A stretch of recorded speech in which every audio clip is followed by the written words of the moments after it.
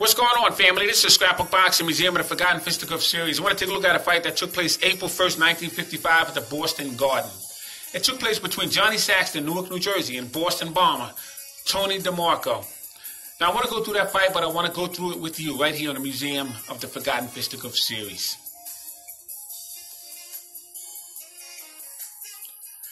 Now, Johnny Saxton was an outstanding fighter. He was born July 4th, 1930 in Newark, New Jersey. He died October 4th, 2008. He was 78 years of age at the time of his death in Newark, New Jersey. I had a pleasure of meeting him. Nice man, had great conversations with him. He stood 5 foot 9 inches and he had a 71 inch reach. He was a welterweight that had total bouts of 66, 55 wins, 21 knockouts, 9 losses, and he was knocked out himself five separate occasions. He had two draws. He was in there with world class champions such as Kid Gavilan, Tony DeMarco, Carmen Basilio, Joey Giardello. Wallace Bud Smith, and Virgil Akins. These are all world class champions. Now, the issue Kid Gavilan, who was the world champion at that time, had was Johnny Saxton. He didn't want to face him in Philadelphia. Kid Gavilan became the welterweight champion. When Sugar Ray Robinson gave up his title because he wanted to move up in weight to face the Raging Bull, Jake LaMotta. He had faced Jake LaMotta five uh, times before then. And it was going to be the sixth time, but this time it was going to be for Jake LaMotta's World uh, Middleweight Championship. This was in 1951. But meanwhile, Kid Gavilan had, had won the welterweight championship in a tournament, and he would have to defend his title against Johnny Saxton. And he didn't want to go to Philadelphia to face Johnny Saxton because it was a crime family that Frankie Blinky Palermo was a part of. And he was afraid through the mob ties he would get robbed. And it turns out that's exactly what happened. He would lose his championship to Johnny Saxton in Philadelphia. Now, Tony DeMarco, that's who we're talking about today, knocked out Johnny Saxton at the Boston Garden Arena. Now, Carmen Basilio would also face Johnny Saxton three separate occasions, and he himself had a problem with the mystique of the mob ties that surrounded Johnny Saxton and he would lose to Johnny Saxton, but he would come back and he would knock out Johnny Saxton in a brutal fashion. Then we'd fight him again just to make sure everybody understood who the world champion was. Johnny Saxton would face Wallace Bud Smith. Wallace Bud Smith would take the title away from Jimmy Carter, lightweight championship. Jimmy Carter would take the lightweight championship away from Ike Williams in 1951. He would knock him out in eight rounds. So Wallace Bud Smith was the goods. And Johnny Saxton would also face Virgil Akins. Now, Virgil Akins would become welterweight champion of the world June 6, 1958, when Carmen Basilio would move up in weight class to face Sugar Ray Robinson for the middleweight division. So it left room for six men to have a tournament. And Virgil Akins would defeat Vince Martinez June 6, 1958, become the welterweight champion of the world. And Don Jordan would defeat Benny Kid Paret. He would do his part. And then he would wind up meeting with Virgil Akins, 1958. And he would defeat Virgil Akins. And he himself would become the world welterweight champion from 1958 to 1960. Quite a story. But Johnny Saxton would have his professional debut May 9, 1949 against Jimmy Swan. Jimmy Swan at that time had a fighting career record of 10, 8, and 2. He would fight him in Philadelphia. He would win a unanimous 10-round decision February 10, 1950 against Charlie Salis. Charlie Salis had a ring record career at that time of 76, 23, and 11. Fought him in Madison Square Garden. Now the thing with Charlie Salis, I had a problem with him because he knocked out Ike Williams, and I didn't like that. Ike Williams, I had a true great deal of respect for. I didn't like Ike Williams when he knocked out Beau Jack, one of my favorite lightweights, in six rounds in 1948. I didn't appreciate that at all, but at the same time, I didn't like the fact that Charlie Solis defeated and knocked out Ike Williams. So it was redemption for me to know that Charlie Solis lost to Johnny Saxton. April 21st, 1950, he would defeat Joe Miceli, very good fighter. Joe Miceli had a ring career at that time of 26, 6, and 2. Fought him at the St. Nicholas Arena. September 22, 1950, he would also defeat Tony Pellone. Now, Tony Pellone was a numbers runner, and he also worked for the mob. He would collect money that was debt owed for the mob. He was a short fighter, had plenty of heart, didn't care. You would have to kill him in the ring. But he was a very, very good fighter, had a very good fight record. Did Tony Pellone. I'm going to show you Tony Pellone after this video. He had a fight record of 47, 16, and 6 before the Madison Square Garden. He would defeat Lester Felton, March 14, 1952. Lester Felton had a ring career at 48, 7, and 3. Fought him at Madison Square Garden. June 4th, 1952, he'd fight Luther Rawlings, another good fighter. He would defeat him. Luther Rawlings would have a ring career, uh, fight a career 38 with 3. So he had 30 wins, 8 losses with 3 draws, fought him in Chicago Stadium. July 30 of 1952, would fight eight, Virgil Akins. Virgil Akins at the time had a fighting career record of 23, 8, and 0, fought him in Chicago Stadium. October 3rd, 1952, would fight Ralph Tiger Jones. Ralph Tiger Jones had a ring career record of 22, 4, and 2, fought him in St. Nicholas Arena. Uh, St. Nicholas Arena. Now, the thing with Ralph Tiger Jones, when Sugar Robinson was trying to make a comeback, he had retired in 1952 because he was in there with Joey Maxim. Couldn't complete the 14th round at the Polo Grounds. Potassium ran out of his body. And he would lose. Couldn't answer the bell. And he would go into retirement, into show business, doing tap dancing. He would make a return to the ring.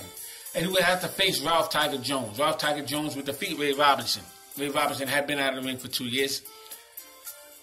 But it was a very good mark on Ralph Tiger Jones's record and Johnny Saxton would defeat Ralph Tiger Jones, October 3rd, 1952. Johnny Saxton also being there with great fighters such as Del Flanagan. Del Flanagan had a brother by the name of Glenn Flanagan. Saxton would also defeat Charlie Williams and Gil Turner. Gil Turner was one of my best Philadelphia fighters. He was a welterweight and middleweight. He had an outstanding fight with Kid Gavilan, an outstanding fight with Joey Giardello. Did Gil Turner. Saxton would also be in there with Danny Bang Bang Womber, another good fighter. He would be in there with Rio Trigo. I'm sorry, Mario Trigo. Mario Trigo was another good Mexican fighter. Fought a lot at the Olympic Auditorium in California. He would be in there with Raymond Fuentes and Denny Moyer. So Johnny Saxton had his fair share of great fighters that he was fighting. Tony DeMarco, real name Leo Lira.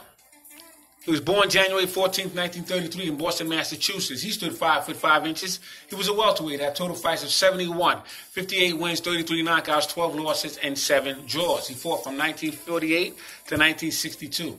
And he was in there with world-class champions such as Paddy DeMarco. Now, Paddy DeMarco would become a lightweight champion when he defeated Jimmy Carter. Then he would lose that belt right back to Jimmy Carter. Jimmy Carter was the only three-time lightweight champion he would fight Tony DeMarco, uh, Paddy DeMarco. So you had the DeMarco fighting the DeMarco. Incredible. He was in there with Don Jordan. He defeated John Jordan. Virgil Akins defeated him twice. He was in there with Kid Gavilan. Now the thing with Kid Gavilan, Kid Gavilan was a fascinating fighter. He's a fascinating fighter. One of the greatest welterweight champions of all time. He was the second man to invent the bolo punch. But his bolo punch was a double bolo punch. It was a, a beautiful bolo punch to the body and immediately come right back up to the head. Ceferino Garcia originally invented the bolo punch. But Kid Gavilan took it to another level. Now, when he fought Virgil Akins, he would lose to him on two separate occasions. Couldn't beat Virgil Akins. He would fight Jimmy Carter. He would have a draw with Carter. He would fight Johnny Saxton. He would defeat him. And that's how he won the welterweight championship of the world. He would face Carmen Basilio, and he would be knocked out twice in the 12th round. We would fight him once at the War Memorial Auditorium in Syracuse, New York. And we also fight him at the Boston Garden, where the Boston Celtics play. And the thing about that fight with Basilio he'd be knocked out two seconds time difference from the first fight. Incredible. He'd be in there with Wallace Bud Smith. Fascinating was Wallace Bud Smith. He was in there with everybody. So Tony DeMarco was an outstanding fighter himself. He began his professional debut October 21st, 1948 against Minter Jones. He was in there with him again November 16th, 1948. Defeated him both times. August 3rd, 1953, he was in there with Young Terry. Young Terry at that time had a fighting career record of 70, 27, and 5. Now, the thing with Young Terry, he was from Trenton, New Jersey. He had plenty of sparring wars with Ike Williams. But he was a fascinating fighter himself. Tony DeMarco would also fight fighters such as Tony Red uh, Top Davis, Teddy Red Top Davis. He would defeat him. Wilbur Wilson. He defeated him twice. Wilbur Wilson was a very good fighter. He would face Chico V. Vejar, defeat him. Carlos Chavez, defeat him. Arthur Persley, defeat him. Casper Ortiz. Now, he fought Casper Ortiz three separate occasions. He would win one and lose two. He would face Stephen Radel, defeat him. Very good fighter. Denny Moyer. He would lose to Denny Moyer. Denny Moyer would fight Robinson and everybody else. He would defeat Vince Martinez. Now, Vince Martinez is the fighter that Virgil Akins had knocked out. Four brutal rounds for the World Welterweight Championship. He'd be in there with Chris Christensen, another good fighter. So Tony DeMarco was an outstanding fighter. And I just wanted to let you know how good these fighters were. The Friday, June 10th, 1955, was when he would face Carmen Basilio at the War Memorial Auditorium, Syracuse, New York. At that time, Carmen Basilio had a fighting career record of 44 11 and 7. Now, in 1949, Carmen Basilio was about to hang up the gloves. He kept breaking his hands all the time. And he was losing fights that he should have won. But Angelo Dundee had took over his career and brought him back to this point. Now, the referee for that fight was Harry Kessler. He was a veteran referee. He was in there with Frank Forbes. Also, you had Bert Grant. These are all judges for that fight. And those judges didn't need to be there because it was a 12 round brutal knockout. November 30th, 1955, Wednesday night. You had Pabst Blue Ribbon and you had Gillette Razor. Both those fights were on television, and those are the sponsors for those fights. But he would fight him at the Boston Garden. And at that time, Basilio had a fighting career record of 47 11 and 7. It was the 13,373 fans that showed up for that fight. And the same exact thing, two seconds later, he'd be knocked out in the 12th round. Fascinating. Friday, April 1st, 1955, he would face Johnny Saxton at the Boston Garden. At that time, Johnny Saxton had a career record of 46 3 and 2. And he'd be knocked out in brutal fashion. Fascinating story, but great fighters. Tony DeMarco and Johnny Saxton entertain us like you won't believe because in that fight, both men went at it. But the thing with Tony DeMarco, he was a pressure fighter. One of us are going, one of us is not walking out of this ring, somebody's going to be flatlined. And that was the attitude coming into that fight with Tony DeMarco. And at some point, Johnny Saxton was having his way with the jab. He was moving around, but he couldn't keep Tony DeMarco off of him. And the pressure got to him. Tony DeMarco didn't get that message because it was at the Boston Garden that Johnny Saxton had ties with the Philadelphia crime family. Didn't care one way or the other. And he would take him out and he would win the welterweight championship of the world. So salute to my subscribers. Salute to these great fighters, Johnny Saxton and Tony DeMarco, for giving us great thrills. You see, these fighters put their lives on the line for our entertainment. Yes, they get returns on their investment. But based on the strategies while they're in the game determines how long their investments will last. So to support these fighters, support this channel as I'm trying to give all these fighters as much recognition as I can. Because without these fighters, the fighters you watch today, will not exist.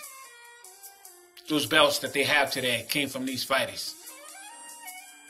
And if you want to watch real fights, check out fighters like Johnny Saxton and Tony DeMarco.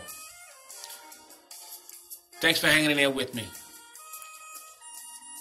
Scrapbook Boxing Museum of the Forgotten Fisticuff series stating all great fights and all great fighters will never be forgotten on my channel. Salute.